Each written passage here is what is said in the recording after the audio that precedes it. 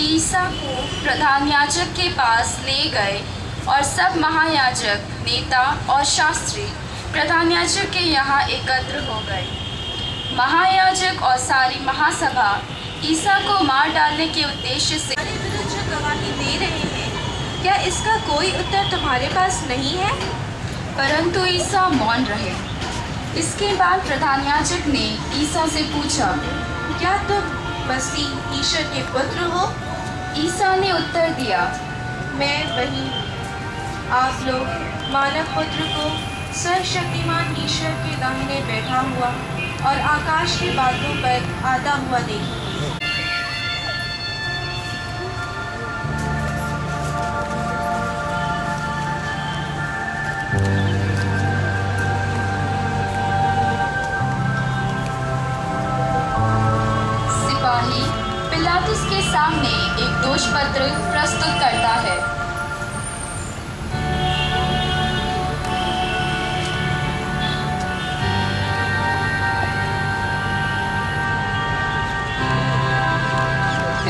उसे पढ़कर ईसा से पूछता है। क्या तुम यहूदियों के राजा हो नहीं नहीं ये मनुष्य दोषी है। इसी ने गलीली से लेकर यहाँ तक लोगों को भड़काया है और तीक्ष निंदा की है। देखो ये तुम पर क्या क्या दोष लगा रहे हैं? क्या इनका कोई उत्तर? है तुम्हारे पास? ईसा मौन रहते हैं। तभी भीड़ ने पिलातुस से कहा आप पहले हमारे लिए जैसा न्याय करते हैं वैसा ही न्याय करें। क्या तुम चाहते हो कि मैं यहूदियों के राजा को रिहा कर दूँ? इसे नहीं बराबस को छोड़ा जाए। पर्व के अवसर पर राज्यपाल पिलातुस लोगों की इच्छानुसार एक बंदी को रिहा किया करता था। उस समय बराबस नामक व्यक्ति बंदी गृह में था। वह उन विद्रोहियों के साथ गिरफ़्तार हुआ था जिन्होंने राजद्रोह के समय हत्या की थी। तो तुम क्या चाहते हो? मैं इनके साथ क्या करूँ? इसे दिया जाए। दिया जाए।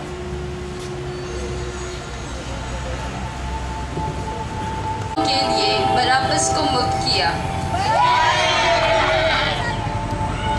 ईसा को कोड़े लगवाने के लिए, कांटों का मुकुट गूद कर उनके सर पर रखवाने के लिए और क्रूस पर चढ़ाने के लिए सैनिकों के हवाले कर दिया।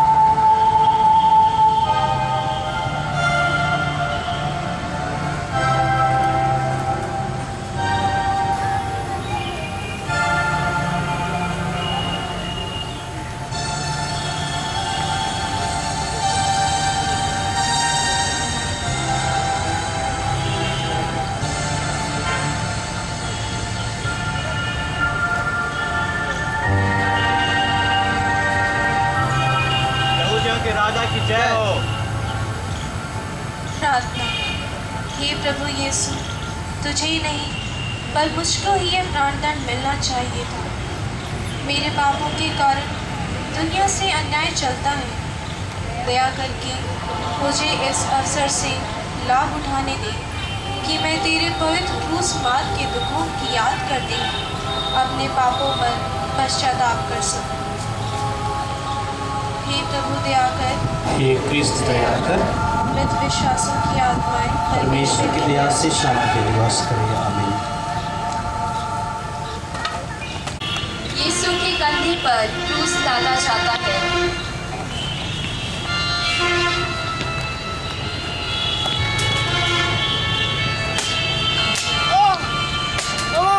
हे प्रभु हम तेरी आराधना करते हैं और तुझे धन्य कहते हैं। क्योंकि तूने अपने क्रूस के द्वारा इस दुनिया को बचाया। भारी था। यीशु को तंग गलियों से होकर करीब आधे मील की यात्रा करनी थी।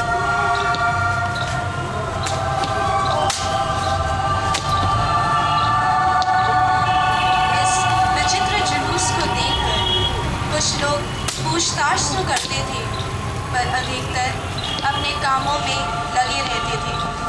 वे ना तो जानते थे ना उन्हें इसकी चिंता थी। कि क्रूस से दबा मनुष्य वास्तव में उनका मसीह और मुक्तिदाता है। प्रार्थना, हे यीशु, मेरे गुरु, तूने कहा था, यदि कोई मेरा अनुसरण करना चाहे तो वह आत्मत्याग करे और अपना क्रूस उठाकर मेरे पीछे हो ले। मैं तेरा शिष्य होना चाहता हूँ। मैं अपना क्रूस, अर्थात मेरे दैनिक जीवन के छोटे मोटे शारीरिक कष्ट मानसिक क्लेश और अपमान आदि धीरज के साथ झेल सकूँ। हे प्रभु हम पर दया कर। मृत विश्वासियों की आत्माएँ परमेश्वर की दया से शांति में रहे। तीसरा स्थान यीशु पहली बार क्रूस के नीचे गिरते हैं। हे प्रभु हम तेरी आराधना करते हैं और तुझे धन्य कहते हे।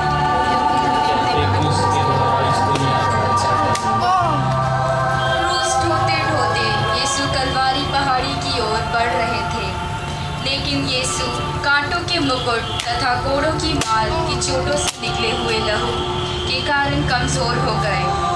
थक कर वह भूमि पर गिर पड़े। सिपाही उन्हें गालियाँ सुनाकर लाठी से मारने लगे।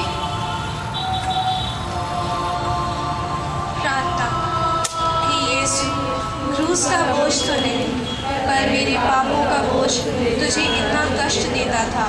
मैं ना बुराई से लड़ता हूँ और ना बोझ ढूँढने में दूसरों की मदद करता हूँ।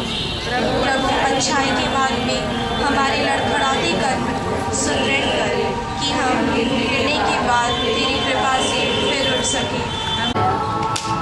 अपने पुत्र को देखकर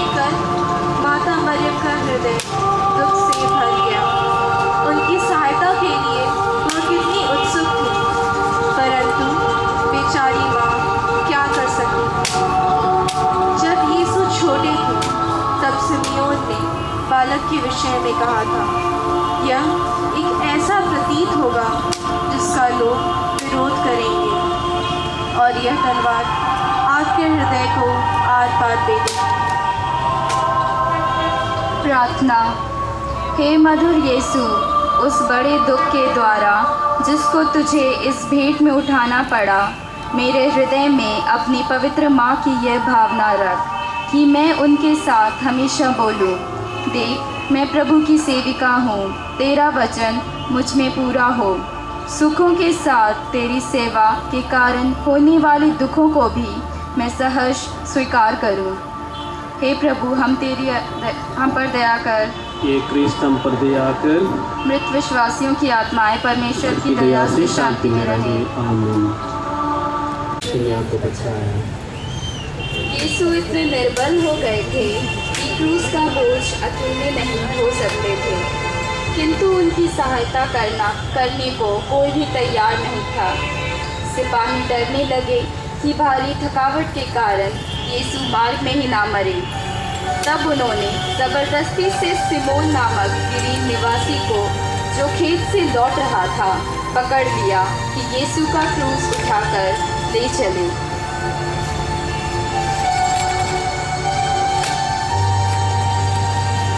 प्रार्थना। प्रभु, तूने दूसरों की सहायता ग्रहण की। तूने एक तुच्छ और डरपोक व्यक्ति की मजबूर मदद ग्रहण की।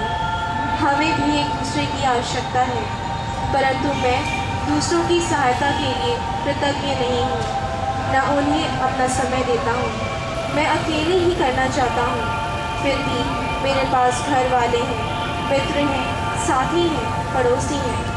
प्रभु मैं उन पर ध्यान नहीं देता। हम मिलकर इस संसार में शांति और न्याय की स्थापना करें। हे प्रभु हम पर दया करें। हे क्रिस्त पर दया कर।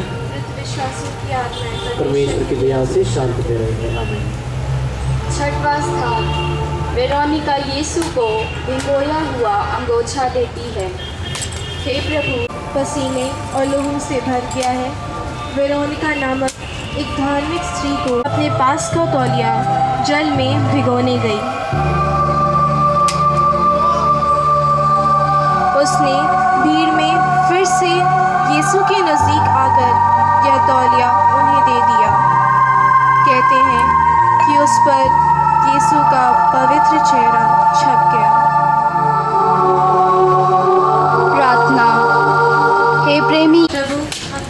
आराधना करते हैं और तुझे धन्य कहते हैं क्योंकि तूने अपने परिचित से दुनिया को बचाया। सिमोन की मदद से क्रूस का बोझ तो कम हो गया पर लहू का बहना भूख प्यास और सबसे अधिक निर्दोष यीशु पर मनुष्य जाति के पापों का बोझ था। जैसे नबी ने कहा था यीशु बिल्कुल निर्बल हो गए और थक गए चाल ढीली पड़ गई एक कदम और फिर दूसरी बार वे धरती पर गिर पड़े। सिर और अंगों की पीड़ा और बढ़ती गई। प्रार्थना, हे प्रभु यीशु, कितनी बार तूने मेरे पापों की क्षमा की और कितनी बार मैंने नए पापों से तुझे फिर अप्रसन्न किया है। सिपाही तुझे गिरते देखकर लात मारते हैं, तुझे उठवाते और ढकेलते हैं कि वे जल्दी पहुँच सके। मेरे बार बार पाप करने के कारण तुझे इतना दुख और निंदा सहनी पड़ती है। क्षमा कर हे प्रभु क्षमा कर। और तुझे धन्य कहते हैं क्योंकि तूने अपने पवित्र के द्वारा इस दुनिया को बचाया। साधारण जनता धर्म नेताओं की इस बात पर शंका करने लगी कि यीशु धोखेबाज है। यीशु को लहू लुहान देखकर भली माताएँ रोने कलपने लगी।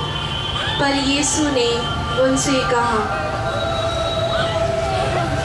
यरूशलेम की माताओं अपने लिए और अपने बच्चों के लिए रो नबियों ने बार बार यही चेतावनी दी थी कि पश्चाताप का अवसर ना देखने से नगर अपने को नष्ट करेगा। धन्य वे जो शोक करते हैं। उन्हें सांत्वना मिलेगी। प्रार्थना करते हैं। हे प्रभु, हम तेरी आराधना करते हैं और तुझे धन्य कहते हैं।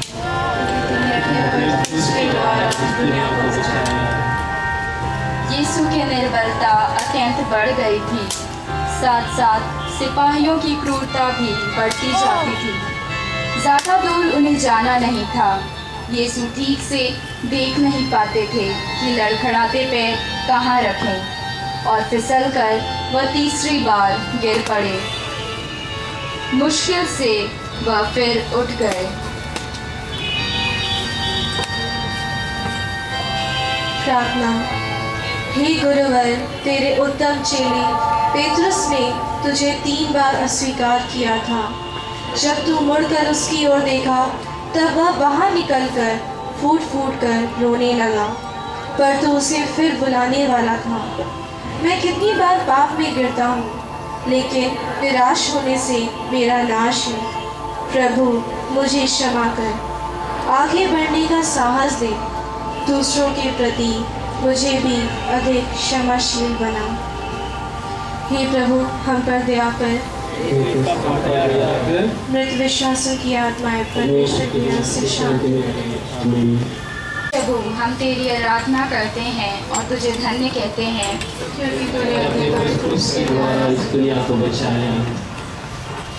कलवारी टेकरी पर पहुंचकर सिपाही लोग यीशु को क्रूस पर ढोकने की तैयारी करने लगे उन्होंने बड़ी क्रूरता और ज़बरदस्ती से यीशु के कपड़ों को उतारा। फल यह हुआ, कि शरीर में छिपे हुए कपड़ों को खींचने से उनके घाव फिर खुल गए और खून ज़ोर से बहने लगा।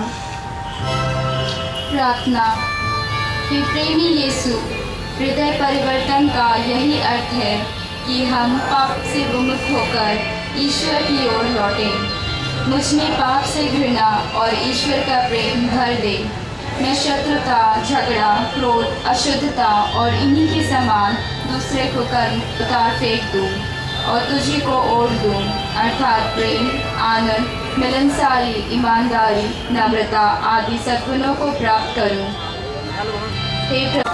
वह अपने हाथ फैलाते हैं और वे उनके हाथ पाँव में कीले ठोक कर उन्हें क्रूस पर टांग देते हैं।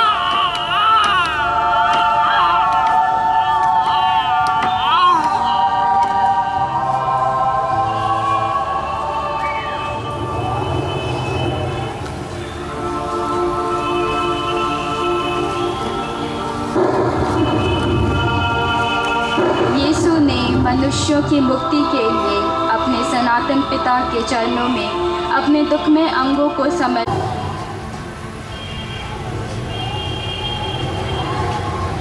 पिता इन्हें क्षमा कर क्योंकि ये नहीं जानते कि ये क्या कर रहे हैं।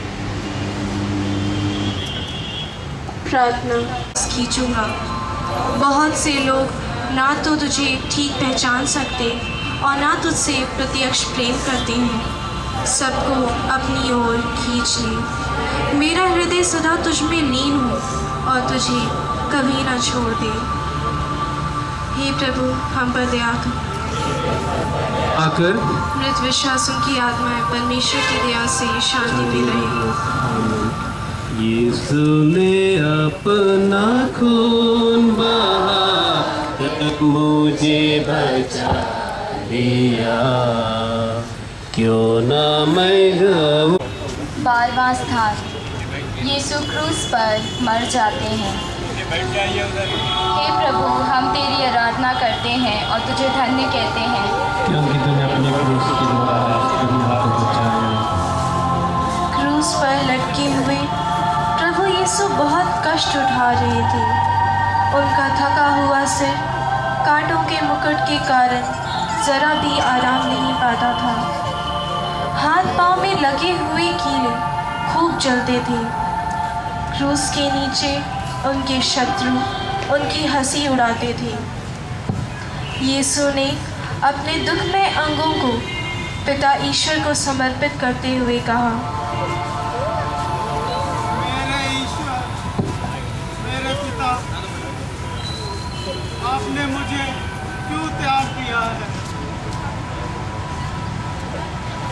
तीन घंटे बाद अपने स्वर्गीय पिता को अपने प्राण समर्पित करके यीशु सिर झुकाकर मर गए।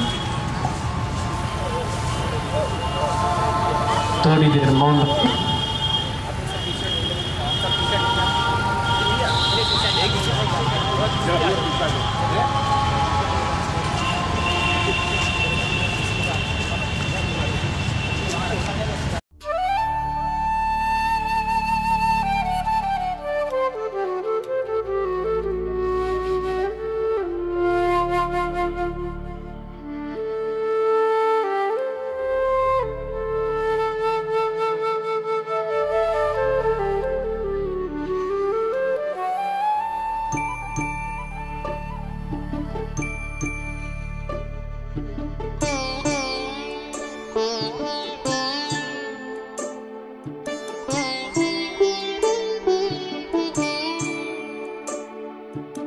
क्रूसित यीशु की पुकार सुन।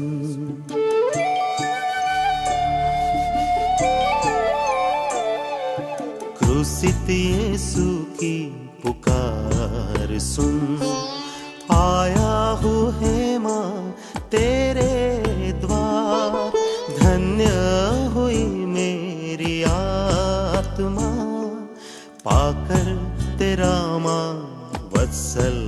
आधार क्रूसित यीशु की पुकार सुन। आया हूँ है माँ तेरे द्वार, धन्य हुई मेरी आत्मा। पाकर तेरा माँ वत्सल आधार क्रूसित यीशु की पुकार सुन।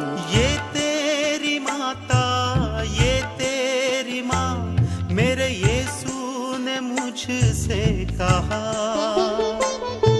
ये तेरी माता, ये तेरी माँ, मेरे यीशु ने मुझसे कहा, तू मेरी माता, तू मेरी माँ, मैंने ये मान लिया। क्रूसित